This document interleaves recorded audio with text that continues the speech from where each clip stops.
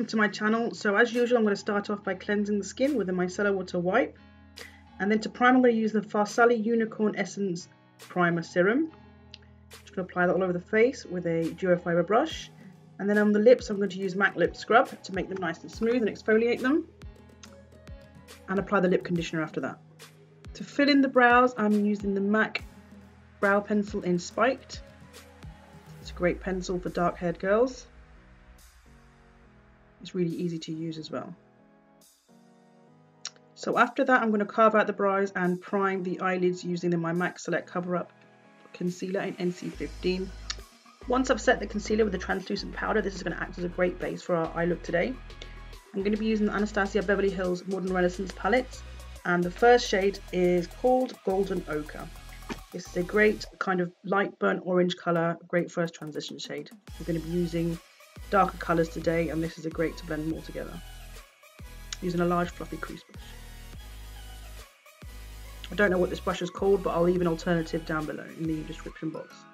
I think this is a cheapy eBay one but it's really amazing. I think it cost me one euro or something.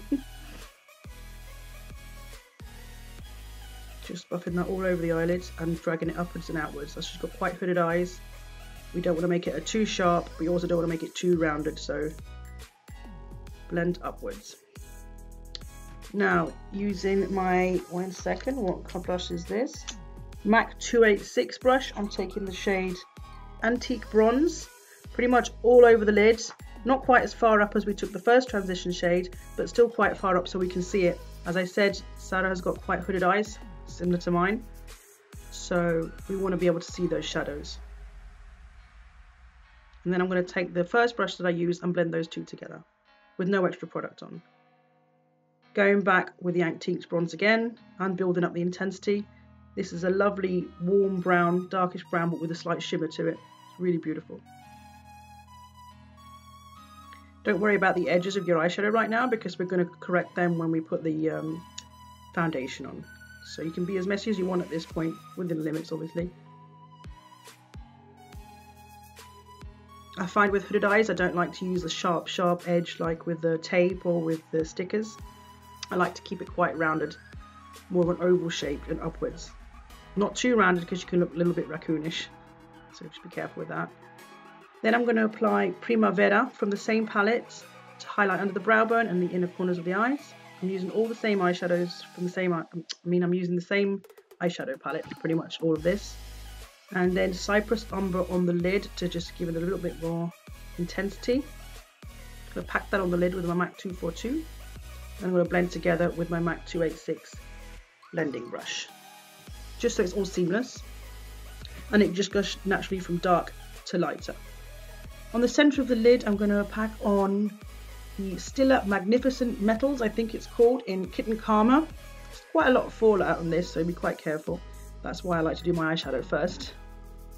So after applying Estee Lauder Double Wear Foundation in the shade Tawny, I'm going to apply some LA Girl Cosmetics concealer in the orange shade to, colour correct under her eyes, just a tiny bit.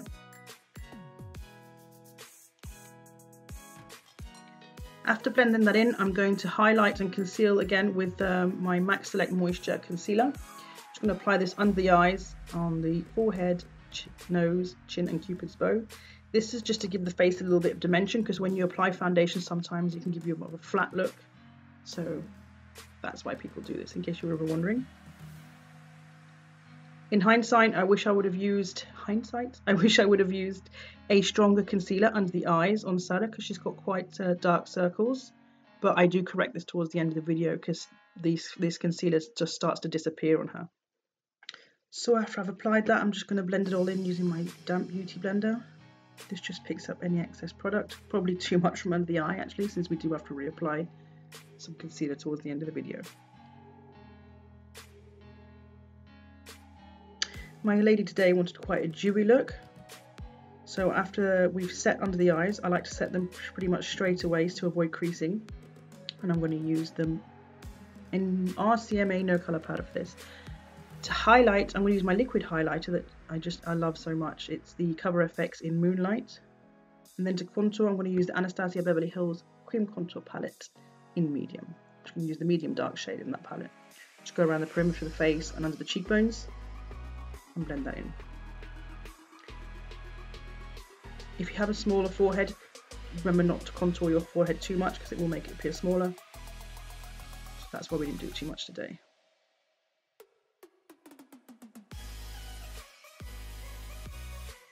Then I'm going to set the rest of the face, avoiding the liquid highlighted area with MAC Mineralized Skin Finish in medium golden and then slightly bronze using the dark tan shade with the same mineralized skin finish. Try and avoid that liquid highlighted area because I am going to set that with a powdered highlight. For that I'm going to use the Balm Mary-Lou Manizer by the Balm. I'm just contouring with my Anastasia Beverly Hills powder contour kit now. And for blush, I'm using Warm Soul by MAC, my favourite blush. I think it just suits everybody. And there we go. Then we're going to put on the highlight, which is just incredible. I hardly ever use that highlight, and when I used it today, or the other day, it was just, oh, I can't believe I never use it. Under the eyes, I'm just going to apply the same shadows as we did on top, which were Antiqued Bronze, Golden Ochre, and Cypress Umber taking the darker shades closer to the lash line. I'm going to list the brushes I used down in the description box. I'm just going to buff out those edges now with my large crease brush with no extra product on. And to line the waterline, I'm going to use the Makeup Forever Aqua XL, just a turquoise shade. And just go under the lower lash line again to blend out any harsh edges. As you can see the under eyes area really needs some extra concealer so I did correct this in a minute. For the lips I use Morning Coffee Lip Liner, Velvet Teddy Lipstick or both by MAC and the Jouer Liquid Lipstick in Pamplemousse to highlight the centre of the lip. And here I am correcting the dark circles. Already much better. And this is the end of the video so I hope you enjoy the final look. Thank you so much for watching, and once again, I apologise for my tragic voiceover. I'm absolutely crap at it. But let's see, practice makes perfect, I guess. Thanks for watching, and please like and subscribe if you liked my video.